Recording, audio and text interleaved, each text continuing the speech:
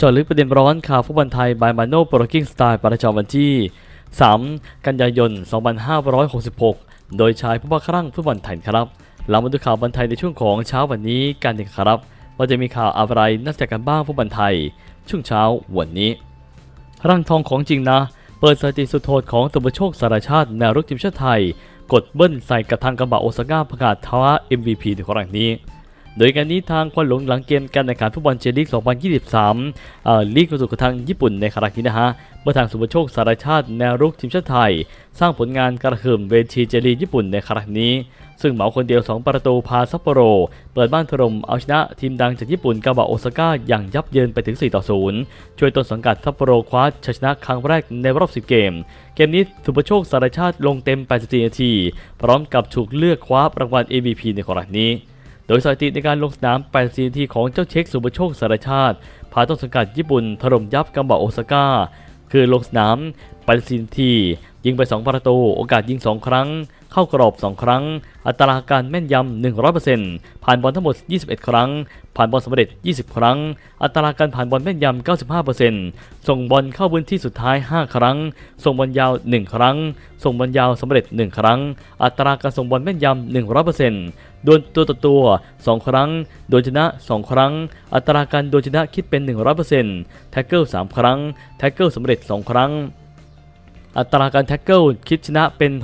67% บล็อกลูกยิง 2 ครั้งแย่งบอลจากคู่แข่ง 3 ครั้ง วิ่งระยะทาง 8.6 กิโลเมตร มากที่สุดเป็นอันดับที่ 2 ของทีม สปรินต์ 19 ครั้ง มากเป็นอันดับที่ 2 ของทีม และสูงสุดเป็นอันดับ 2 ของสนามในครั้งนี้นั่นครับ โอ้โห เป็นแต่ว่างานนี้ ไม่ธรรมดานะฮะร่างทองของเจ้าเช็คสุปโชคสารชาติ ก็ฝากไปให้กำลังใจเขากันด้วยกันแล้วกันครับ เรามาดูประเด็นข่าวจอมานกันครับ อะไรยังไงพี่โดโชโหดจัดหนักทั้งยิงทั้งจ่ายผ่านทางอัลนาเซอร์ถล่มคู่แข่งยับเยินไปถึง 5 ต่อ 1 นะ โดยการนี้ทางคิสโนปรันโด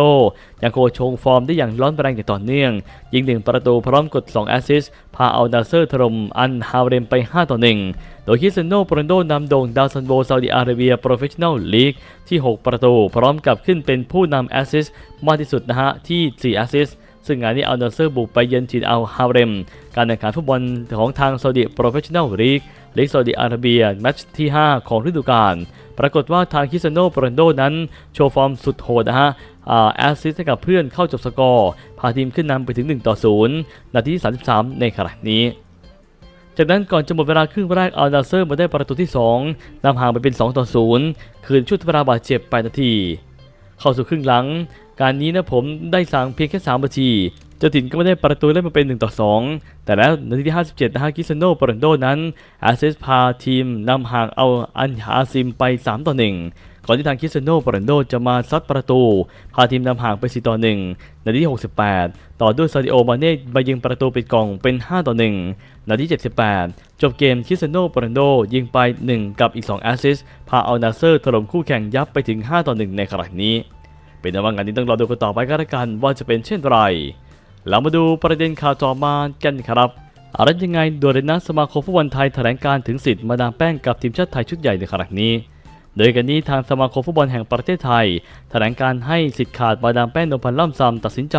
ทุกเรื่องเกี่ยวกับทีมชาติไทย ซึ่งพร้อมจะให้การสนับสนุนอย่างเต็มที่ในครั้งนี้ โดยตามที่ทางสมาคมฟุตบอลแห่งประเทศไทยพร้อมสนับสนุน ทั้งทีมฟุตบอลทีมชาติไทยให้มีความพร้อมสูงสุดในทุกรายการในการแข่งขัน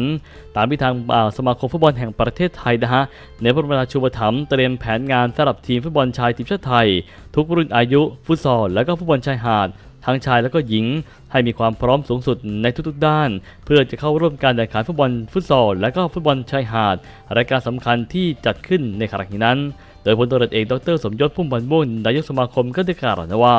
สำหรับทีมฟุตบอลชายทีมชาติไทยชุดใหญ่ สมาคมได้แต่งตั้งคุณดนพันธ์ล่ำซำเป็นผู้จัดการทีม เนื่องจากเล็งเห็นว่าเป็นผู้ซึ่งครุกคีในวงการฟุตบอลไทยมาอย่างนานถึง 15 ปี มีทั้งความรู้ความสามารถ และก็ประสบการณ์ในการนำทีมฟุตบอลหญิงทีมชาติไทย ไปร่วมแข่งขันฟุตบอลโลกรอบสุดท้ายมาแล้วถึง 2 สมัย และก็มีสิ่งสำคัญที่สุดก็คือ หัวใจในการรักฟุตบอล ทั้งในระดับสโมสร และก็ระดับทีมชาติโดยที่ผ่านมาก็ทำหน้าที่ได้อย่างสมบูรณ์แบบครบถ้วน ประสบกับความสำเร็จ และก็เป็นที่รักของนักกีฬาทุกคนในขณะนี้ จึงมีนโยบายให้สิทธิ์ในการดูแลจัดการทีม และก็เพื่อนสนับสนุนพร้อมสนับสนุนการตัดสินใจ ของทางผู้จัดการทีม และก็หัวหน้าผู้ฝึกสอน ในพิจารณาการคัดเลือกนักกีฬา ในการเตรียมเข้าสู่การแข่งขัน ตามช่วงไปทีฟีฟ่าเดย์ในการวางแผนการเตรียมทีมร่วมกับเพื่อจะให้มีความพร้อม รวมถึงการประสานงานกับสโมสรเพื่อจะขอตัวนักกีฬาในครั้งนี้ สำหรับทางโปรแกรมการแข่งขันทีมฟุตบอลชายทีมชาติไทย ช่วงปี 2516 ถึงปี 2517 เริ่มจากฟีฟ่าเดย์เดือนกันยายนเหรียญฟุตบอลชิงถ้วยพระราชทานคิงครับ ครั้งที่49แล้ววันที่3ถึง12 กันยายนนี้ จัดขึ้นที่สนามสมโพธิเชียงใหม่ 700 ปี จังหวัดเชียงใหม่ มีชาติชั้นนำเข้าร่วมการแข่งขัน 3 ชาติประกอบไปด้วย อิรัก อันดับ 70 ของโลก อินเดียอันดับที่ 100 ของโลก และก็เลบานอนอันดับที่ 102 ของโลกในขณะนี้ จากนั้นต่อด้วยฟีฟ่าเดย์ช่วงเดือนตุลาคม ซึ่งทีมชาติไทยมีโปรแกรมจะเดินทางไปแข่งขัน กับทีมจอร์เจีย ทีมอันดับที่ 78 ของโลก และที่กรุงทบิลิซี ประเทศจอร์เจีย วันที่ 12 ตุลาคม และก็พบกับทีมชาติเอสโตเนีย อันดับที่ 110 ของโลกที่เลอค็อกอารีนา กรุงทาลลินน์ เป็นเพื่อเป็นการเตรียมความพร้อมสำหรับฟุตบอลโลกปี 2026 รอบคัดเลือก โซนเอเชียรอบ 2 ที่ทีมชาติไทยจะลงสนาม เกมแรกพบกับทางจีน ที่สนามราชมังคลากีฬาสถาน วันที่ 16พฤศจิกายน และก็ออกไปเยือน ทีมชาติสิงคโปร์หรือว่ากวมวันที่ 21 พฤศจิกายนกันต่อไป